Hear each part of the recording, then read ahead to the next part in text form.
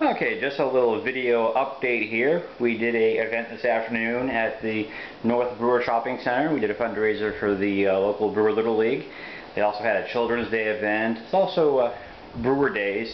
Uh, they have a three-day uh, celebration of the city. And I just wanted to show off R2's newest gadget.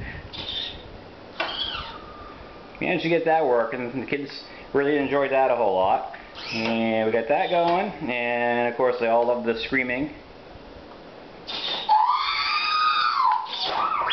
And everything else, just the usual beeping and chirping. But the new uh, uh, computer interface arm, that seems to be the big hit right now. And uh, I would like to have that at some point here, uh, uh, working to the point where it does extend out. I still have a few more uh, tweaks to work out, but uh, overall it's getting there. So that's what we got. Till next time, catch you later.